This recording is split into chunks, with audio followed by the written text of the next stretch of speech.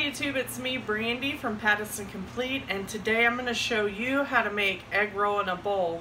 So I'm going to take you down and show you the ingredients that you'll need for this um, dinner. First you're going to need ground sausage. I just got Jimmy Dean.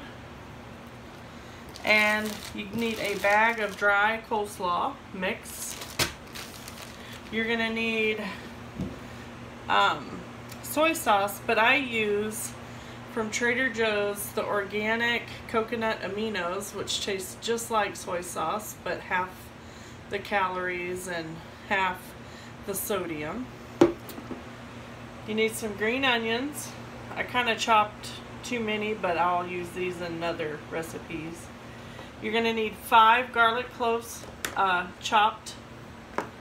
And you're going to need a half a teaspoon of ground ginger, and then salt and pepper to taste. So let's get started. First thing we're going to do is ground the sausage.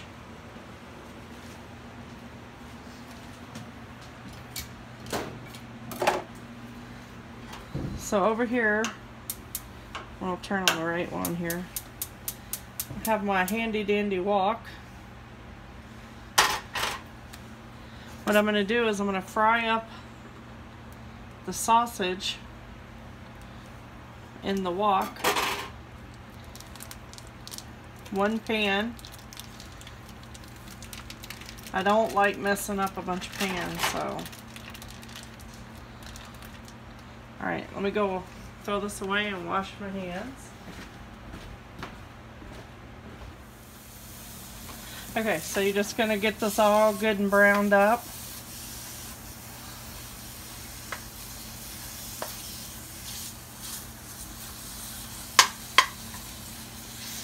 Once we get it browned up,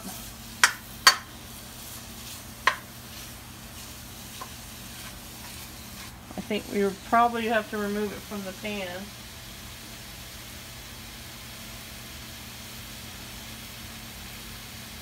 No, we just add the dry coleslaw to the mix. This is my second time making it. It's very good and uh, very filling. If you love egg rolls, you'll love this, minus the breading on the outside.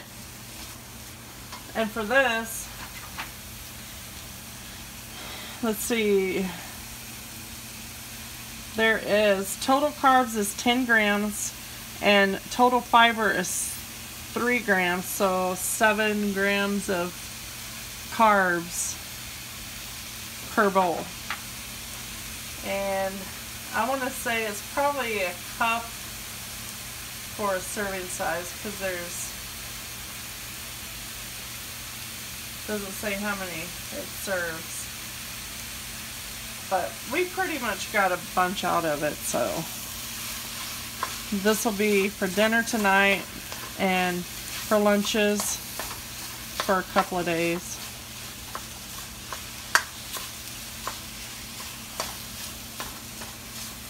Okay, you can pause it. Okay, while this is browning, I'm going to take you back over to the ingredients and we're going to mix the garlic, soy sauce, and ginger and we're going to set it aside.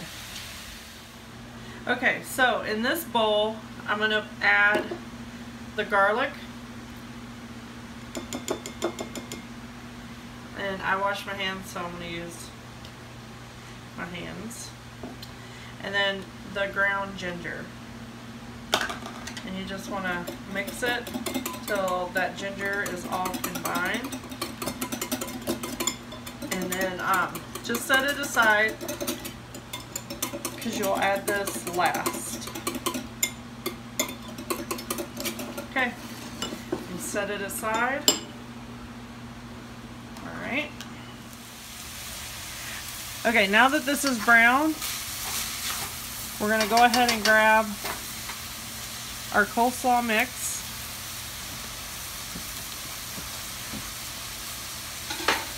And our mixture that we mixed up.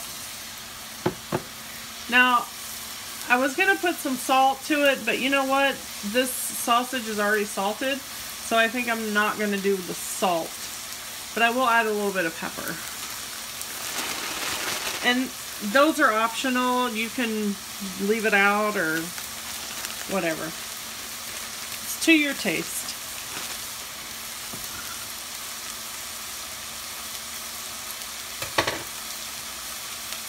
So I'm going to turn this down a little bit. And you want to just pour the whole bag. Because as y'all know, um, cabbage will wilt. But you want to cook it until it's wilted down but still a bit crunchy. You want that crunch.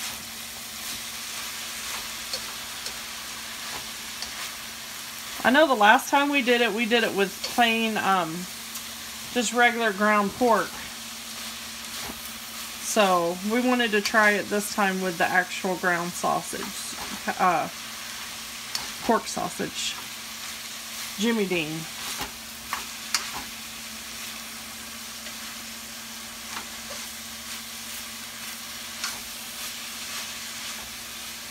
Alright, so now that that's all stirred, we're going to combine this now.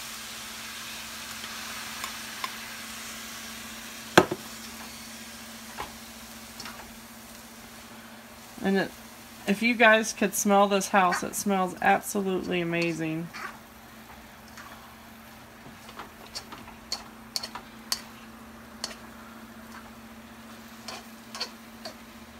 I'm not big on Chinese food, but my husband, he loves it.